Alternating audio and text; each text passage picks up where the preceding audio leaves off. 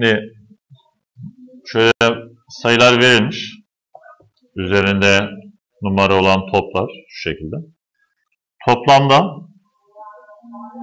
e, 4 gruba ayrılacakmış. Ve toplamları A olacakmış bu dörderli grupların. O halde biz şunu hesaplayabiliriz. Bunların hepsinin şöyle ayrıştıracağız diyelim ki buradan ayırırız. Şöyle ayırırız. Bir de buradan ayırsak her birinin toplamı birbirine eşit olacak. O halde biz bu sayıları toplayıp dörde bölersek bir gruptaki topların sayılarının toplamını bulabiliriz. Yani şunu yapabiliriz. Buradaki sayıların toplamını dörde bölüp A'yı hesaplayabiliriz. Buradaki sayıların toplamı 1 artı 2 artı nokta nokta son sayı 28 ardışık olarak verilmiş. Bunu bulursak şöyle bulacağız. Terim sayısını hesaplayacağız. Terim sayısı şöyle aşağıdan devam edeyim. Şöyle ya da böyle yazayım. Eşittir. Şuradan devam edelim. Terim sayısı son sayı. Eksi ilk sayı. Bölü artış miktarı birer birer artıyor.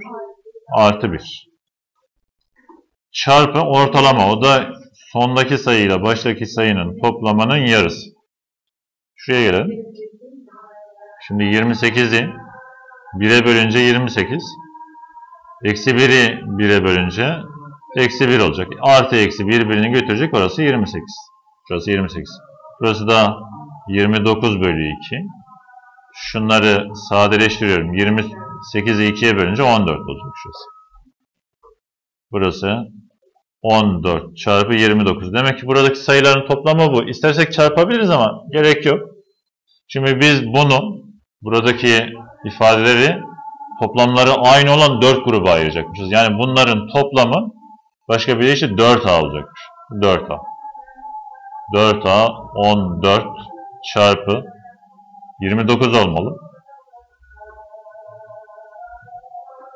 Pardon 7 gruba. Evet 7 gruba. Şunu yanlış söyledik. Bu 7 gruba ayrılacak. Yani 7 tane A meydana gelecek. Toplamları A olan 7 grup oluşacak.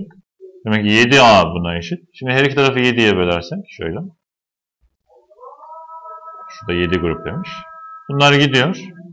14 ve 7'yi sadeleştiririz. 7'ye bölüyorum 1, 7'ye bölüyorum 2. Bu durumda da A sayısı 2 çarpı 29'dan 58 gelecek. Demek ki A sayısı 58 oluyormuş.